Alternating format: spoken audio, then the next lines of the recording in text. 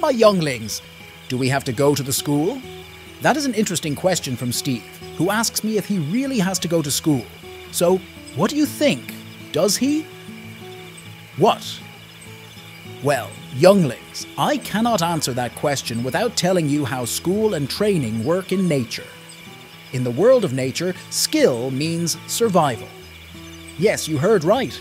My dear nature can sometimes be quite cruel, so it is very important to prepare for life without parents who watch over us. And we cannot learn a skill without learning. That's it, learning. Today we will explore how younglings spend their days learning and playing, all in preparation for life. And the younglings, that's you, children. Please don't mind me calling you that. Our story begins with one of my neighbours, a mother tit, Bird Mary, and her chicks.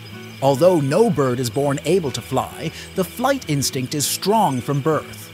Do you know what instinct is? Oh, an unknown word. Here's an example. Even when they are young, chicks begin to flap their wings, and nobody told them what to do, they were simply born for it. Just like you, dear children, nobody told you that you must walk and run, but you want to. It's the instinct to move. Because of that instinct, when their feathers for flight develop, chicks are ready to leave the nest. With a lot of encouragement from their mother Mary, the tit. The first time birds leave the nest, their attempts at flying are clumsy and usually not very good. Mother Mary can gently push those young ones who are reluctant to leave the nest. Under her or father's eye, the clumsy attempts at flying become more precise.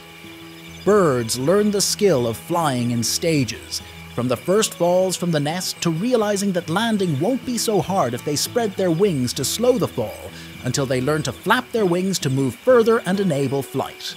And when they master flying, they learn to take off and land. When birds grow up, they become true masters of flight, capable of taking off, landing, hovering, and making sharp turns. The days of falling and flapping their wings are long forgotten, especially that moment when they first stood on the edge of the nest. See, it's similar to your school, isn't it? And listen to what I heard from Grandmother Tuska, an old and proud lioness. Just like you, lions learn a lot while they are young, and play is their most important school lesson. Young lions or cubs start walking at two weeks of age and can run when they are a month old. Although it may seem like they are just having fun, every move they make has a purpose. And what do you think how? Well, they play by following each other, for example, playing hide and seek. What does that remind you of what adult lions do? Yes, when they go hunting, they must learn to hide and stalk. Cubs play and wrestle, all to develop the basic skills needed for later life when they will have to hunt on their own, or fight with other lions, or other animals. When they are only six weeks old, cubs already begin to learn about real hunting. They carefully watch their mothers and other lionesses in the pride. And why mothers? What do you think? Yes, who said that?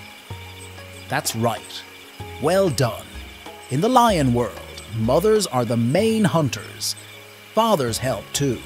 So while the cubs watch the older members of the pride until they reach 16 months of age, play helps them learn everything they need to one day become real hunters.